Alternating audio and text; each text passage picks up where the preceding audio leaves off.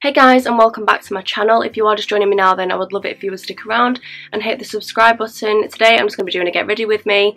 I'm not doing too much, just go into the shops to get some food and probably going to take some pictures or something. So I'm going to start off with my Laura Mercier Tinted Moisturiser. I've used this before in a video.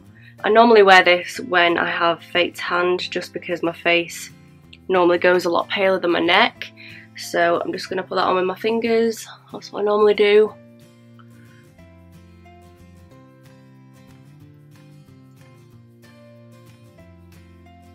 So I had my COVID jab about two weeks ago and I was fine, like when they first did it I didn't feel anything and I am not normally good with needles.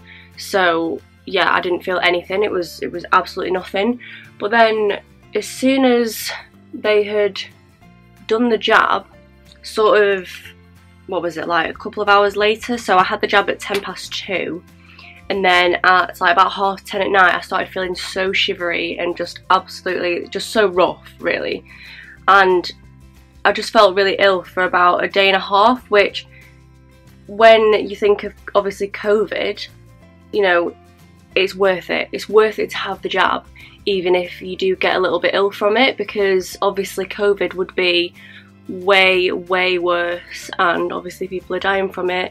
So I would say if you are thinking about having your jab, then I would suggest still going through with it even if you're worried about getting poorly because obviously it is way better than getting COVID.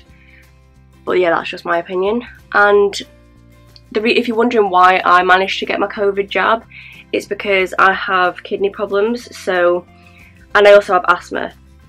So the doctors rang me and said that I could have my jab. So I went, I had it done, and I've been fine since since those two days where I felt a little bit poorly. I've been fine. It went really quick, and my arm only hurt for a couple of days. It was yeah, that was fine. So, oh, I'm just using the Born This Way concealer by Too Faced. I'm just going to put a bit on the back of my hand so that I can cover my spots. I'm just looking forward to like the world going back to normal because I really, really want to go on holiday. I really want to, you know, get life things sorted out, like hopefully passing driving. I would like to do my theory for that and just all those different types of things that we can't do right now. I'd love to be able to get the world back to normal. So if you're wondering what I'm wearing, I'm wearing this absolutely gorgeous two-piece that I got from Missy Empire. I did a haul on it and it's just these, I'll show you. Oh, gorgeous top like this, high-waisted pants, love it very much, super soft, great for a day like this when the weather's not super hot. So now I'm going in with my little, I can't say it, Laura Mercier powder. Just gonna whiz that over my face.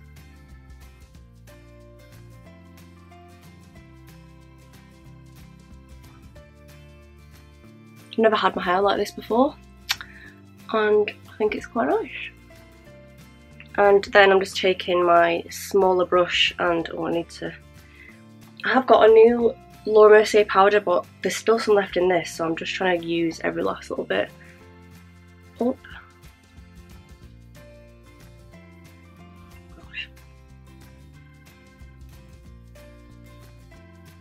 I feel like everyone, since COVID's happened, everyone's been getting puppies. Like, we got a puppy, I've seen just puppies everywhere. I feel like I've never seen so many puppies in my life and these past couple of like what is it last year and this year I just feel like I've been all I've been seeing is puppies everywhere.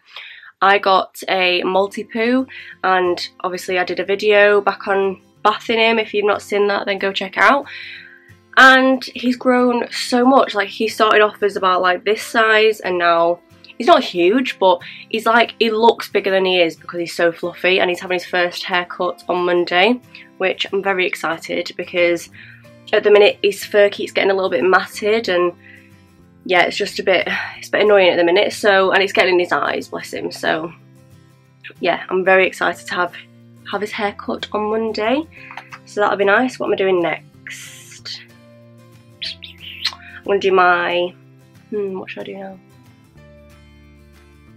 I feel like I should either do my bronzer or my eyes.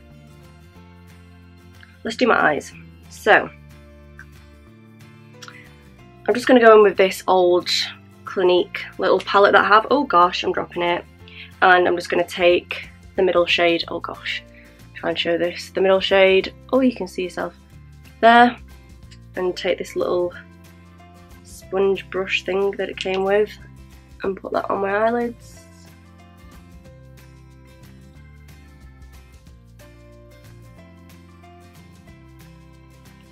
He's so mischievous, like he sleeps with my mum because he cries in the night if he is left without her. He follows her everywhere. He tries to get in the shower with her, he's just very cheeky. But we love him, he's so so cute. And he bugs the hell out of my older dog, Blaze. She she tolerates him and I also think that she she does love him but I just think, yeah, he kind of bugs her a little bit and gets in one of those hyper moods. What colour am I going to use next? So I'm just going to go in with the Charlotte Tilbury eyeshadow palette and I'm going to take this top corner shade. I don't know if it has a name. Does it? One, two. I can't see that. No idea what it's called, but anyway, I'm just going to put in the corner.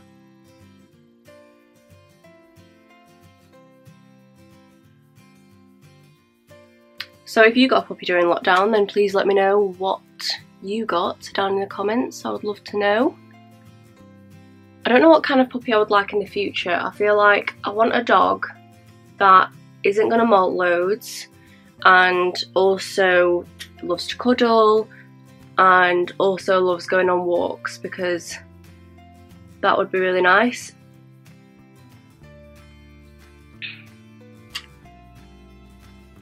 I also don't want my dog to be too big. I feel like in the future I would like a medium sized dog or a small dog but just not too big and also maybe not too small because I just, yeah, just fancy a medium sized dog. Oh gosh, I feel like I'm going way too much with this eyeshadow. Do you ever do that? Like you're trying to do like a really natural sort of everyday look and then you end up going absolutely overboard on your eyeshadow. Just check that looks okay. Yep. Also, I'm, I've got a big mirror here, but because of the light, I feel like it's making this side look like I don't have as much on as this side, so I have to like cup my eye like this just to see if it's the same. I think that's about the same. I'm just gonna try and deepen up this corner a bit.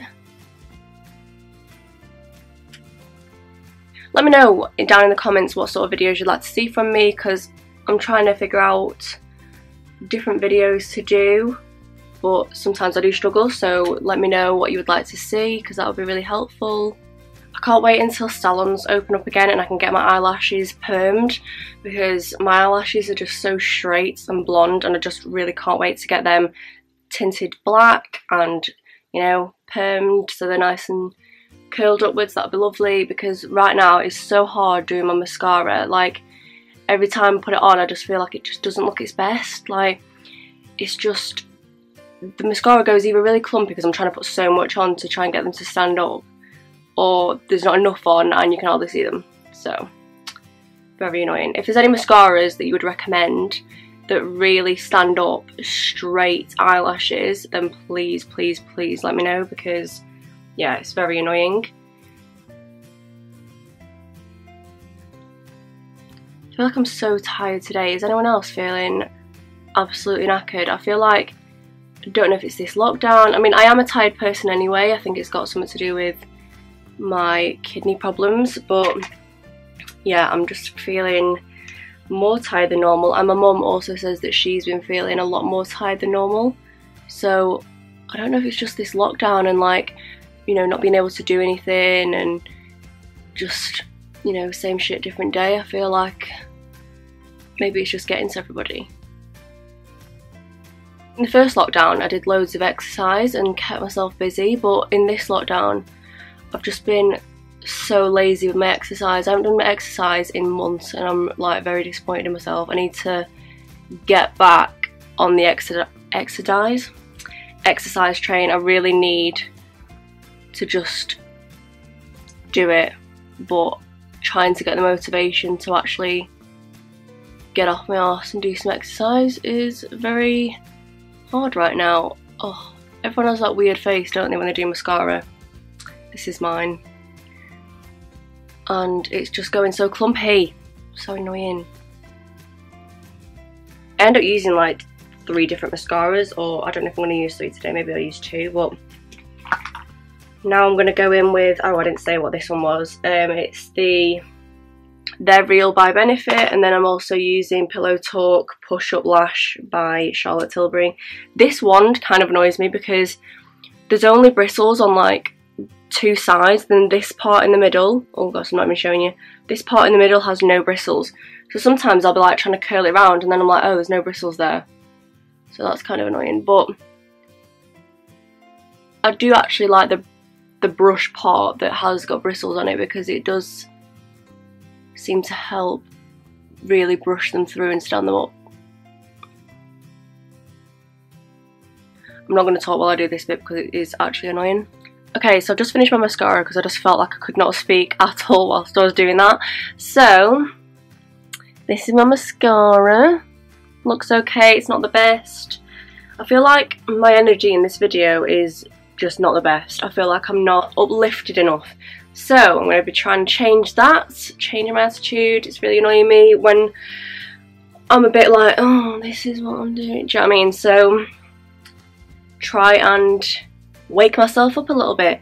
So next thing I'm going to be doing is going in with my bronzer. Did that make sense? Going in with my bronzer, yep. My puppy absolutely loves this brush. If my makeup bag's open, this brush, he will rummage through to find it. I don't know why, it's just his favourite brush of mine that he absolutely loves. So yeah, I'm going to the shops today to get some bits for, I'm going to be doing a video following a recipe by somebody, which I will tell you in that video. But yeah, I'm going to be following a recipe and it's going to be a vegan recipe. I'm not vegan myself, but I am vegetarian and I am very intrigued by the vegan lifestyle. And who knows maybe one day I will be but at the minute I love cheese way too much. And yeah I don't really understand too much about it so maybe the more educated I get on it then maybe I will. But as of right now I'm just vegetarian. And the reason why I went vegetarian in the first place was I was never really happy with eating meat. I never enjoyed it. I mean, I enjoyed the taste, yeah, but I was never really happy with eating animals. So, yeah, I just decided one day, I was like, you know what? I'm going to go vegetarian because I want to be able to enjoy my meals and not feel like I'm going to find a bone or veins and all that sort of stuff because that seems to be everything I was eating. I seem to find. So, yeah, made the decision one day and that was that. I kind of cut it out slowly though. I didn't just go, go like cold turkey. I sort of, I think the last thing that I was eating was bacon. Bacon was the last thing that I was eating, but then, yeah, I don't even eat bacon anymore. So, yeah, I've been vegetarian for a while now. I think, when did I, I can't even remember. Like, I feel like maybe I was 18, I want to say, or 19 when I went vegetarian. Yeah, oh, also I'm not even telling you the products. So this one is Wet n Wild Highlight in in Proud Illuminance. There. And then the bronzer I used is Beach Bronze by Urban Decay. So yeah, I'm just going to glow up the sides of my face.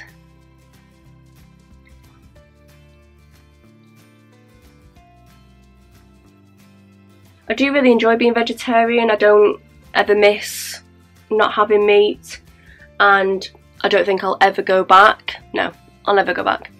And if anything, I might turn vegan one day, but who knows, I might just stay vegetarian.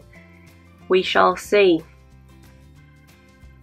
But like I said, I am very intrigued by vegan recipes and vegan baking. Like it just, I just love it. I love seeing like how you know they make it fluffy or how they stick everything together without eggs and things like that so I'm very intrigued by it and yeah just absolutely in love with certain recipes. There was a cheesecake when I used to work at a restaurant. I'm just going in with MAC. I don't even know what this colour is. It's so old. Fleur Power. I think it says Fleur Power. Yeah, anyway. So I'm going in with this blush. And yeah, when I used to work at this restaurant slash pub, they had a cheesecake there. Oh gosh, the glasses come out. They had a cheesecake there which was absolutely unreal and that was vegan. And people who worked at the restaurant who were like, oh, I don't agree with, you know, vegans and all this lot, they were like, to be fair, that is a really good cheesecake. And yeah, I was like, I like that cheesecake. So now I'm just going to go in with my brow pencil by Benefit. This one. I can't remember what shade I got it in. Where? Oh, 3.5. And I'm just going to brush them through. I don't do too much with my eyebrows at the minute because I did recently wax and tint them myself. So I'm just going to, actually, first things first, before I do that, I'm going to use the Brow Gimme Brow. Did I just say Brow Gimme Brow? Benefits Gimme Brow, there we go. I'm going to use this, and I'm just to comb them through, because I like to see where they need filling in or if they even need filling in, which I don't think they do, but I'm, i might give it a little bit just in the sparse areas.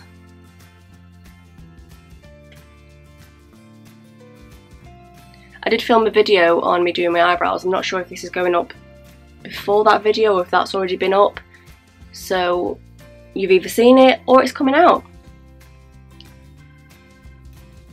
Do my eyebrows need this brow pencil? Maybe a little bit there.